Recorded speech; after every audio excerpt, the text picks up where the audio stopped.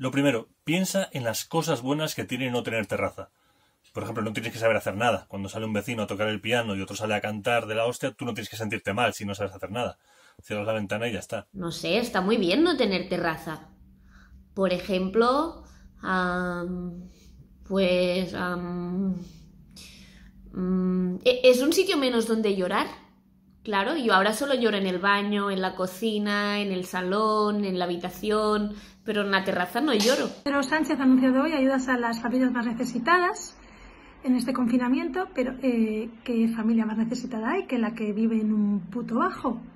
Que es que tenemos que pagar más luz, porque es que esta luz que veis es porque mm, la tengo encendida a las 12 de la mañana. Otra cosa guay, eh, cuando si caen, si llega la desgracia de que caigan los gobiernos y bandas de mutantes eh, toman el poder, los primeros pisos que van a tomar son los de terraza. Nadie va a querer tu piso de 30 metros, ¿sabes? Son mutantes, no son gilipollas. Tengo que decir que no solo se puede sobrevivir a esto en un piso sin terraza, también se puede sobrevivir en un piso interior. Ventajas, por ejemplo, pues, que nunca sabes si es de día o de noche, ¿no? Es como unas vacaciones de ensueño en, no sé, Noruega. ¿Qué ventajas te esto también? Pues que puedes desayunar vino con bizcocho, ¿eh? Sin sentirte culpable, ¿no? Por ejemplo, mmm, mmm, Lo mismo el confinamiento aquí en un bajo, ¿eh? a primera línea de basura, que pues en casita, con ese terrazón. Bueno, es que nosotros con balcones, con balcones ya seríamos felices. Eh, estoy viendo Netflix, también he estado viendo unos documentales, 20 episodios sobre Fórmula 1 eh, y odio la Fórmula 1. Estoy aprovechando las mañanas para, para leer, estoy leyendo mucho, sobre todo memes de grupos de WhatsApp en los que no quiero estar en absoluto. He empezado a comprarme yogures de medio kilo. He buscado la palabra suicidio en Instagram, en las stories, eh, no viene nada.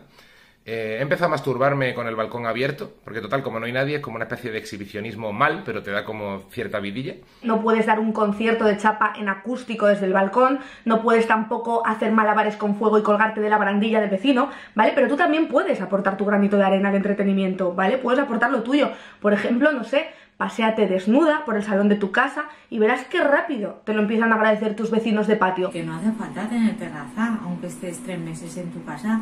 A mí no me ha hecho falta nunca una terraza. Tú te coges cualquier, cualquier sitio, le pones cuatro macetas y mira, mira, el, ba- el baño que no lo utilizo para nada. Y luego tienes a mano un montón de cosas que en una terraza no tienes. Desodorante, por ejemplo, con lo que te suda eso va con una terraza. No tienes desodorante, pues mira, aquí tiene, yo qué sé, que dice, me quiero lavar los dientes. ¿En una terraza te puedes lavar los dientes? No. ¿Y qué hay? Lo mismo que aquí cuatro plantas y, como, luz.